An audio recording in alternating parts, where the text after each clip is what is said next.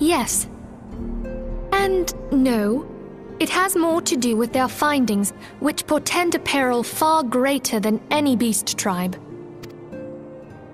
What sort of peril? The worst kind.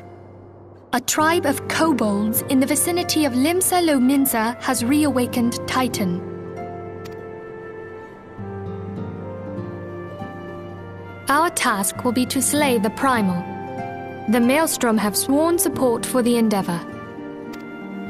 They are no strangers to the havoc kobolds can wreak.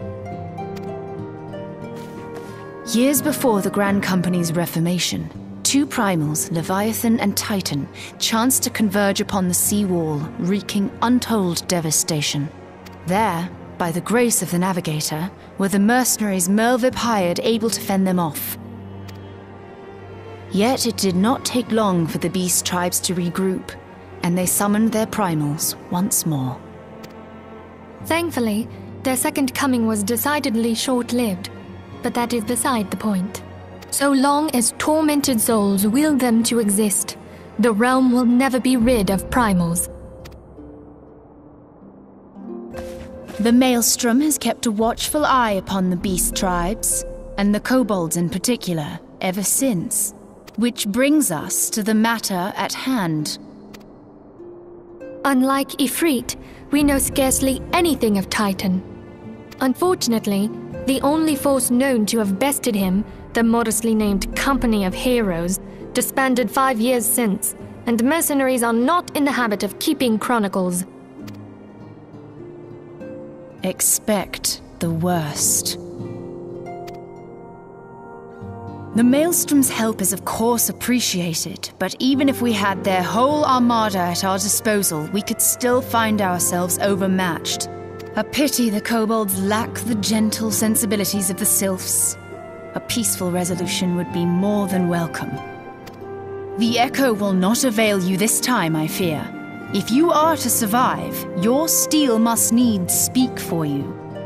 No one would think you a coward were you to decline. So you will accept? Thank you. We can't very well send her to Limsa Lominsa without Y'shtola. Can we, Minfilia? May I ask that of you, Y'shtola? I never thought it in question. Ever reliable. Very well. We will spare no effort to win victory. You may count on the full support of the Scions of the Seventh Dawn. And all not afield will aid the fight from afar. Thancred, Yda, go to the Grand Companies, tell them of our plight and solicit their support.